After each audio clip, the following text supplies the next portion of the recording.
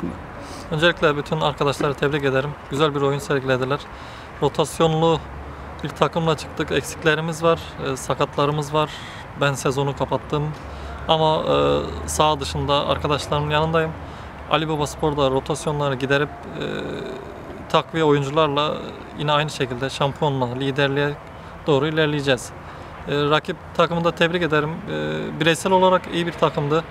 E, centilmence geçti. Herkesin ayağına sağlık. Teşekkür ediyoruz. Bundan sonraki maçlarda başarılar diliyoruz. Teşekkürler.